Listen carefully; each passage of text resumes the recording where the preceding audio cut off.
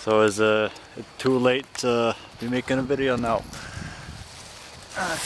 Here at the old Sunken Meadow. It's kind of nice when uh, you spend so much time alone, you kind of appreciate the things right in front of you. And I've always been a fan of that. I think destroying my smartphone has been one of the best things I've ever done. It's more like, well, I feel like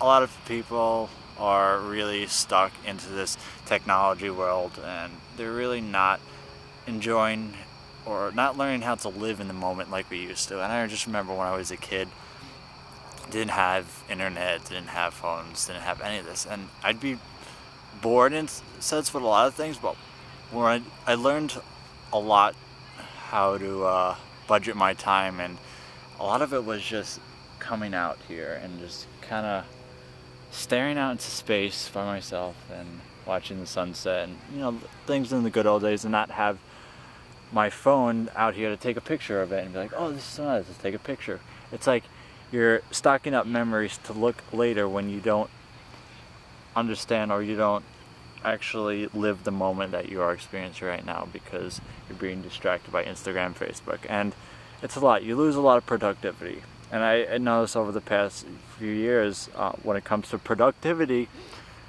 my artwork hasn't been so great. My piano playing hasn't been so great because you know I'm a musician and it's deterred me from a lot of things.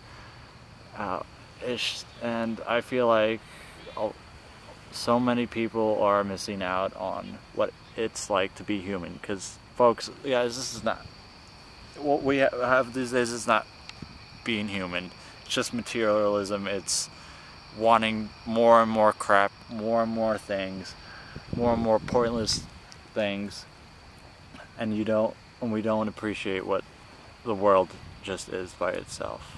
Because I mean, who needs this? Many, many upon many uh, people are there 90% of the world living in poverty don't have much, don't have these things don't have clean water, clean food, whatever. And then we come here and we just want things. Well, what do we really want? Are we buying things to make ourselves more happy? Are we fulfilling something or are we fulfill are we uh, just filling a hole in our heart that can't be filled with stuff, right? I think relationships are a very beautiful thing. I think meeting people is a, is you know, one of those beautiful things in life about talking to people, but nobody wants to socialize anymore. That you only socialize on social media. So you're, everyone's face down in their phone on social media, and the only way to socialize people is generally with that, for the most part, from what I've noticed. So now that I'm just really not on my phone all the time or on Facebook, what am I doing? Well, it's just it doesn't seem too many people to talk to. So it's just me, so you're just gonna be by yourself. And that's cool because that actually kind of makes me happy. It's a way of thinking. If you could think outside the box, it makes you free thinker. I think that makes you maybe a more of an intelligent being. I mean, I don't want to just kind of throw that out there like that in that manner to say that, oh, I'm more intelligent, because I, I really am not. I mean, I don't have a great vocabulary. I don't. I'm not a smart kid, didn't do as great in school, but like, I'm just saying is like, I'm the person who likes to think outside and look over and say, okay, I had a an addiction with my phone, like it was a drug addiction. And I feel like getting rid of that helps improve myself, my own well-being, my productivity. I go back to high school, college, sorry, and running was everything. Even right now, running is everything for me. I mean, heck, I remember those times I'd get up at 2 a.m. in the morning feeling like a champ and then being like, well, I'm, it's already 2 a.m. in the morning, I'm already up. Well, why don't I just grab another six miles? And I do that. And it was crazy. But it was just like, it was just this thing about, you know, wanting to always be outside and not being stuck on a computer or stuck inside or stuck in the social media bubble. It was just, I always want to be outside. Yeah, it's 2 freaking a.m. in the morning, but what the heck am I going to do? I'm going running. Screw that. Screw what everyone says. I got up to running 180 miles a week in college, got through all my schoolwork, and it was great. So for the first couple years I had a smartphone were the last few years in college. And, you know, that was a big thing is to have this this smartphone, this technology in my face when I should be studying and doing all, all these other things. And, you know, I I held it off a lot. Like, I was not addicted to my phone in college as I was to after college where all of a sudden I have a lot more free time and have nothing better to do other than run and then sit at home and be on Facebook or Instagram and I was like this is not making me happier this is not you know fulfilling my life's dreams and well what is my life dream it's to be productive it's not just to become an athlete not just to become you know, an artist or anything like that, or to earn a lot of money. That's not my life dream. Um, my life dream is just to become productive and improve on myself. Improve in my music, improve in my artwork, and of course my number one would be improve on my running. You know, I may not make the Olympics one day. I may not uh, be a star runner or whatever, but you know what I want? I want to improve because that makes me feel good. And I just feel like this last past year my running hasn't been great my music playing hasn't been great. And all these little talents that make me me hasn't been great. And I think it's because I've been focusing uh, too much on social media and focusing on what other people are doing other than what I have to do just for myself. And for a lot of people, that's what they got to do is focus on yourself.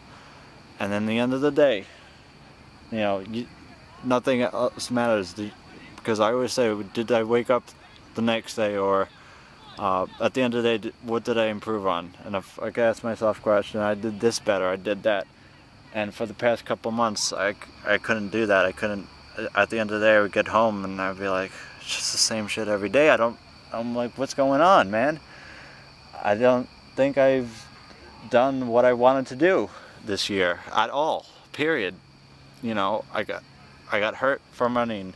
I got stepped on. All those all these things happened, and it's just been rough. And you know now it's time to take that step. That step. You know, take that step back. First of all, you assess the damages, and then you take that step forward. You always take a step back to take a step forward. And now I recessed every little thing. You know, the high mileage, in my running, always been doing it, right? We let's take a step back now you know, we'll, we'll run moderate mileage and see where that gets us for this track season. Right, right. So I've done the 180, 109 miles a week. It works great. Um, cutting back the mileage makes me feel a little bit fresher. I feel better. Okay, I'm talking about running again, obviously. Uh, but I, I know it's trying new things that relate to old things, you know, that aren't too different from the old things that you've been doing, do help you uh, take that step forward to that new goal, changing things up a bit. I think when you do the same thing over over all the time, the same mileage, the same run, the same job, the same thing, you start you plateau in anything and you become counterproductive. And so this year might have been a counterproductive year uh, for the past year. And it happens, but what do you do? You take a step back, assess the damages, and then at the end of the day, you ask yourself, what did I improve on today? And you come and you wake and you wake up the next day and you look forward to the next day. It just hasn't been like that for me. Looking forward to the next day, I'm like, I want to, but I'm like, well, is it going to be the same thing over, or am I going to make these little changes, take that step back, make that step forward, to improve on the next thing and that's why okay this is a long long video but that's why I want to say say out to everybody on my channel over here uh, you never stop running you never give up because I ain't giving up because shit if I, if I give I'd probably even more happy the the drive of knowing that I'm gonna fail at some, po some points in my life is what actually kind of fuels me to go harder, faster, stronger, and it feels good. So this is for everyone who needs to be inspired. It's getting dark. I don't give a crap. That's just the way it is and I'm gonna stay here for a while, I think, and enjoy everything that there is about this world and everything about myself.